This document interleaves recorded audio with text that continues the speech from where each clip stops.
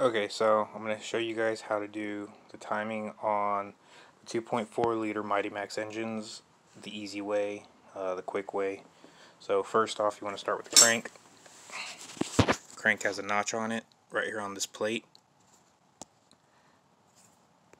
And you need this notch to line up with this little arrow here. Okay? So start with your crank, top dead center. Then you want to do the oil pump oil pump has a notch 2 in it.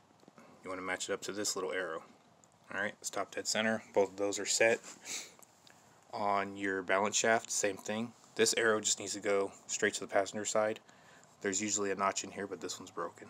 So just don't worry about that. Just straight across 90 degrees from top down. And you'll get it. You turn this to adjust it, just add tension, just enough, and you're good to go.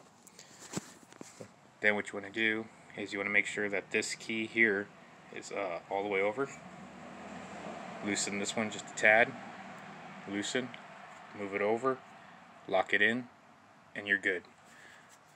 When you're putting the belt back on, you want that all the way over. When you get it set, just unloosen it and it'll pop right back into place. Don't pry tension. Don't give it. Just let it let it have its tension that it's going to get and just tighten it down. Tighten it down and you're good on the cam, usually this key is going to be facing up. Sometimes they're offset depending on the year and if it was came off a different engine. But what you want to look for is this notch here. Sometimes they're painted, sometimes they're not. Just kind of got to look for yours. But it will have a, an indention in it. Alright. And you want it to match up with this notch here inside the head. Okay, there is a, a notch in there. You want this to line up to this. This one's obviously slightly off. This head's an old head. It's been shaved down too many times. I need to get this head rewelded to put some more surface material on there. But it'll still run, and actually runs pretty decent. Um, but yeah, you want this as close to that notch as possible, looking at it straight ahead. Okay, so that is off quite a few degrees, and it won't run as well as it could but it needs to be up just a little bit. But other than that, this engine is on time. Second is distributor. I know a lot of guys are having trouble with these distributors trying to find information. I've seen a bunch of YouTube videos and these guys don't know what they're talking about half the time.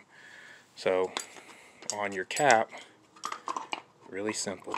So when the cap's on there, it's going to be the bottom one. The bottom one right connected here to the clip. That's number one. The firing order is 1, 3, 4, 2. Clockwise. 1, 3, 4, 2. Alright? That's your firing order. Now, when trying to get top dead center, if you're trying to put this all together, that's where you want your rotor. Okay, so in your your rotor on on the on the distributor, think of this as like a dial. You know, um, for top dead center, advanced, retarded. This is where it's going to want to sit. So this is actually indented here. You want it right in here on this side, on the front side of the notch. And you want it as centered as possible. Okay?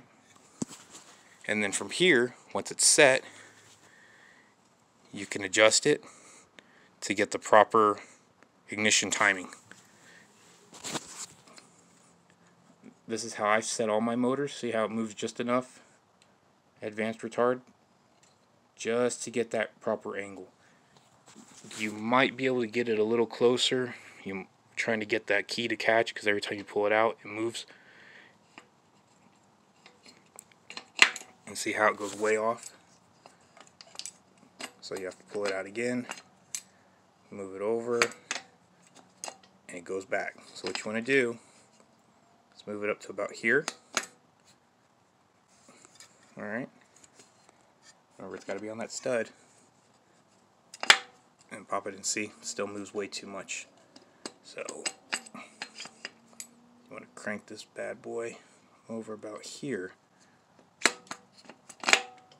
And it'll lock right in place every time. And that's right where you want it. Okay? So it is a little off more because this isn't where it should be but I have ran this engine before. I took it apart, refreshed it, and it did run really well.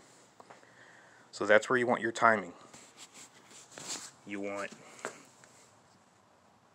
distributor and rotor down first area here remember one three four two firing order passenger side of the engine notch line up notch line up to the arrow notch line up to the arrow passenger side 90 degrees from top and that's how you do your timing it's that easy if y'all have any questions, message me and I'll go ahead and put something together for y'all, make it a little easier if that wasn't enough. But that is the easiest way to do it. I've done it multiple times. That's exactly how that one's timings run. So, have any more questions? Just let me know. I just broke a bulb. Alright. Hope this helps. Y'all need pictures, I'll send some pictures too.